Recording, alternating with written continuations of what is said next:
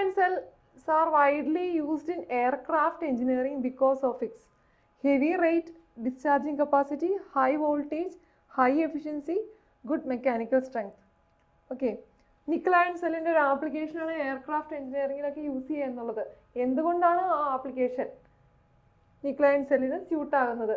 അതിന് കാരണം ഇതിന്റെ ഗുഡ് മെക്കാനിക്കൽ സ്ട്രെങ്ത് ആണ്. Okay good mechanical strength of nickel Cell cell is the reason behind this application next question widely used semiconducting material is okay semiconducting materials നമുക്ക് ഒത്തിരി അറിയാലേ carbon ഉണ്ട് germanium silicon ഉണ്ട് ഒക്കെ അറിയാം. ഓക്കെ ഏറ്റവും കൂടുതൽ യൂസ് ചെയ്യുന്ന സെമി കണ്ടക്ടിങ് മെറ്റീരിയൽ ഏതാണ് എന്നുള്ളതാണ് ചോദ്യം. ഓക്കെ ഏതാണ്? സിലിക്കൺ ആണ്. ഓക്കെ ഏറ്റവും കൂടുതൽ യൂസ് ചെയ്യുന്നത് സിലിക്കൺ ആണ്. കാരണം സിലിക്കൺ ഈസിലി അവൈലബിൾ ആണ് എന്നുള്ളൊരു മെയിൻ റീസൺ അതിന്റെ പിന്നിലുണ്ട്.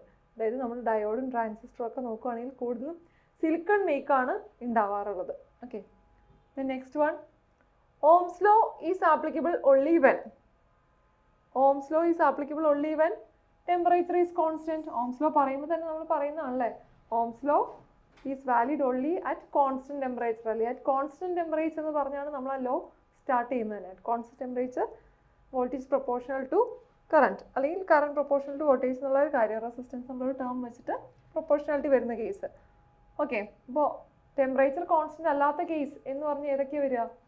ഇത് ടെമ്പറേച്ചർ കൂടുന്നതനുസരിച്ച് റെസിസ്റ്റൻസ് മാറുന്ന കേസുകൾ അതായത് positive temperature coefficient materials negative temperature coefficient materials okay next one output of harmonic oscillators is square wave triangular wave sine wave all the above എന്താണ്? Harmonic ഓസിലേറ്റേഴ്സിന്റെ ഔട്ട്പുട്ട് സിനിസോയിഡൽ വേവ് ഫോംസ് ആണ്. Okay harmonic ഓസിലേറ്റേഴ്സിന് oscillator എന്ന് പറഞ്ഞാൽ നമുക്കറിയാം എന്തെങ്കിലും wave generation ആണ്. Okay അതിനകത്ത് സൈൻ വേവ് പ്രൊഡ്യൂസ് ചെയ്യുന്ന ഓസിലേറ്റേഴ്സ് ആണ് ഹാർമോണിക് ഓസിലേറ്റേഴ്സ് എന്ന് പറയുന്നത്.